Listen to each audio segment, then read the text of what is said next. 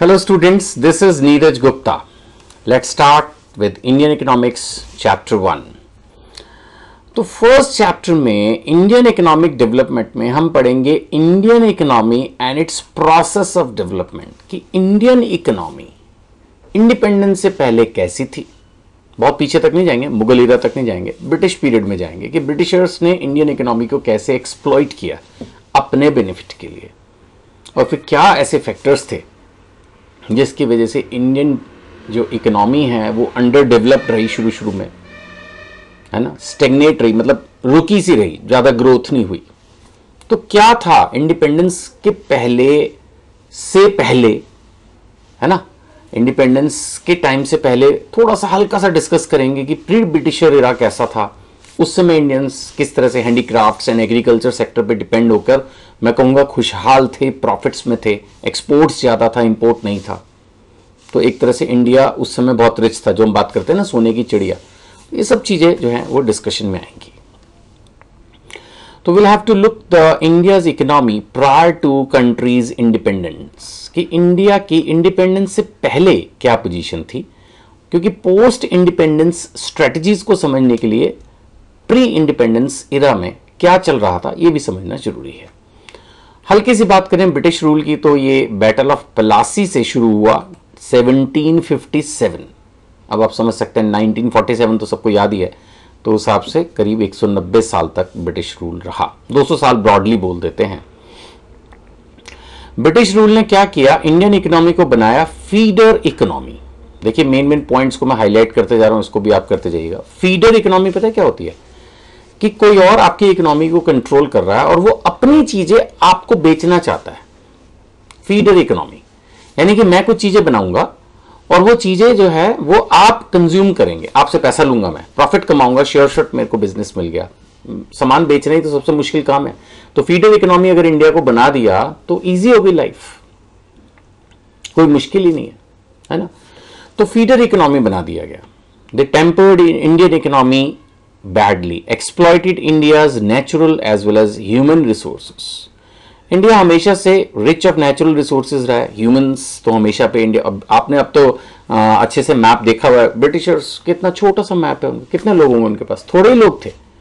Somehow they controlled such a big population of India. So India was always rich in human resources as well as natural resources.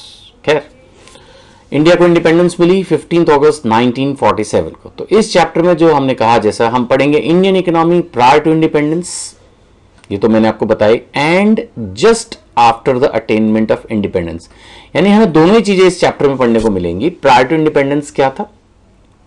और just immediately after independence क्या होगा? ये थोड़ा थोड़ा हमारा इस chapter में डिस्कशन स्टार्ट होगा। Right now before the advent of British rule Indian economy was characterise by the following features ये before the advent of British rule है। यानी थोड़ा सा, हल्का सा डिस्कशन इस पे जा रहा है कि ब्रिटिशर से पहले क्या था? प्रॉस्परस इकोनॉमी इंडिया गरीब नहीं था। मतलब डायरेक्टली बोलना चाहता हूँ कि ये तो ब्रिटिशर्स ने लूट खसोट के इंडिया को गरीब बना दिया। Prosperous economy India was independent दूसरों पर हम निर्भर नहीं थे। सेल्फ लैंड अपना जितना हमें ज़रूरत है, उतना हम अपना इंतज़ाम खुद कर लेते थे एग्रीकल्चर वाइज भी अदरवाइज़ भी। एंड प्रॉस्परस ग्रोइंग इकोनॉमी थी। सब खुशहाल थे। That was before the British rule and it was an agrarian economy means agriculture was the main source mainly two third of the Indian population majority population जो है वो agriculture sector पे depend थी। रही पह, पहले भी थी बाद में भी रही। ब्रिटिश इरा में भी यही रहा लेकिन फ़र्क आ गया। पहले वो अपने लिए कमाते थे खाते थे एक्सप्लोइटेशन नहीं था तो इंडिया ग्रो कर रही थी। उन्होंने एक्सप्लोइट करना शुरू किया फिर प्रोग्रेस भी नहीं करने दी है ना? आगे पढ़ेंगे ये सब चीज़ें। एंड इंडिया का मेन था हैंडीक्राफ्ट इंडस्ट्रीज़ है ना? हथकरघा उद्योग नाम सुना तो। ये जो पश्मीने के शॉल्स और जो दुनिया भर के गिफ्ट आइटम और कालीन और मे बी स्वेटर्स या कुछ भी इस तरह का ना cotton silk textiles metal pressure stone works हाँ जो ये बनाते थे, है ना? हाथी दांत से बहुत सारी ज्वेलरी टाइप आइटम्स ये सब इंडिया की पूरी, इसमें लिखा है that handicraft products enjoyed a worldwide market पूरी दुनिया में हमारे प्रोडक्ट्स की जो है, वो डिमांड थी. Because they have a reputation of fine quality material used with high standards of craftsmanship. हमारे जो कारीगर थे, वो बहुत ही एक्सपर्ट थे. तो इसलिए हमारे प्रोडक्ट्स की पूरी इंडिया में डिमांड थी. ह्यूज एक्सपोर्ट सरप्लस था. ब्रिटिशर्स उसी को तो लूटने खसोटने के लिए इंडिया में आए, है ना? लेकिन जो ब्रिटिश पीरियड था, उसमें इन्होंने जो इकोनॉमिक पॉलिसीज़ यूज़ की, वो थी कलोनियल गवर्नमेंट की। कलोनियल गवर्नमेंट का मतलब एक तरह से उन्होंने हमारे को अपने एक कलोनी जैसा बना दिया, एक एक सब्सिडरी एक ब्रांच जैसा बना दिया बस। कोई इंपॉर्टेंस नहीं, है ना? जस्ट वन ऑफ़ दी उनको अपना ओन इकोनॉमिक इंटरेस्ट ब्रिटिशर्स को सिर्फ़ अपने इकोनॉमिक इंटरेस्ट को एक तरह से डेवलप करना था। उन्होंने चेंजेस कर दिया। हमको क्या बना दिया? उन्होंने they transform the country into a supplier of raw material मेरे ख्याल से ये बात आप मेरे मुँह से सौ बार सुनोगे इस चैप्टर में। बार बार ये बात आएगी कि इंडिया बेसिकली एक रॉ मटेरियल सप्लायर बन गया। एंड ब्रिटिशर्स अपना फाइनल प्रोडक्ट यानी रॉ मटेरियल यहाँ से एक्सपोर्ट होके ब्रिटेन या उसकी कंट्रोल्ड कंट्रीज़ में जा रहा था और वहाँ से बना हुआ माल इंडिया में आ रहा था और वो महँगे दामों में उसको बेचते थे। तो प्रॉफिट सारा बेसिकली ब्रिटेन खा जाता था। है ना? तो basically what they did they transform the country into a supplier of raw material मैंने अभी आपको कहा कि हमारे पास ह्यूज नेचुरल रिसोर्सेज थे, हैं, रहेंगे। तो उस समय भी थे। तो उन्होंने यहाँ से सारा रॉ मटेरियल अपनी कंट्री लेके मशीन्स के थ्रू इंडिया को उन्होंने इंडस्ट्रियली डेवलप नहीं होने दिया मशीन्स के थ्रू प्रोडक्ट बनाए इंडिया में लाए। और यहाँ पर उन्होंने बेचा। और इंडिया बेसिकली क्या बन गई? Consumer of finished industrial products from Britain ये दो लाइनें आप इस चैप्टर में 50 बार देखोगे। फिर भी एग्ज़ाम में ना लिखो तो मतलब लिख ही दोगे ना। So they transform the country into supplier of raw material and consumer of finished industrial products from Britain यहाँ से रॉ मेटेरियल जाता था और वहाँ से फिनिश प्रोडक्ट्स आते थे। कलोनिज्म मैंने आपको बता दिया, ये एक पॉलिटिकल सोशल रिलेशन है दो कंट्रीज़ में, जिसमें एक रूलर है, दूसरा कॉलोनी है, जैसे इंडिया कॉलोनी बनी। और वो पॉलिटिकली उसको कंट्रोल करता है और साथ में इकोनॉमिक पॉलिसीज़ भी उस कंट्री की खुद ही डिसाइड करता है। सोच के देखिए तो फिर तो वो कुछ भी लूट ही लेगा ना उसको, है ना? तो इंडिया और ब्रिटेन में जो है अनइक्वल रिलेशन था नेचुरली एक तरह से एक मास्टर था और एक स्लेव या कुछ भी कह लो, क्योंकि हिंदी में मैंने सुना है, बचपन से हम बोलते रहे कि हम लोग गुलाम थे तो नेचुरली ऐसी सिचुएशन में प्रॉब्लम तो थी। Low per capital income low national income ये दोनों ही इंडिया की बहुत लो थी उस जमाने में, है ना? क्या था? Low level of national income and low level of per capita per capita समझते ना पर पर्सन बहुत ही लो था। कोई ढंग से कैलकुलेशन भी नहीं की ब्रिटिशर्स ने। कुछ एफर्ट्स किए। Dadabhai Naoroji, William Digby, है ना?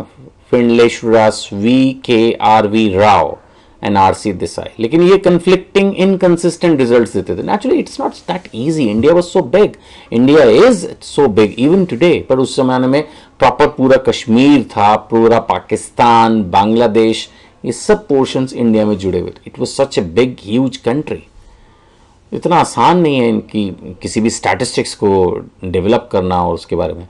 लेकिन लिखा हुआ है कि estimates of doctor Rao on national income and per capita were considered significant studies बताती हैं कि first half of twenty century में हमारी जो ग्रोथ थी, वो सिर्फ़ दो परसेंट से भी नीचे थी।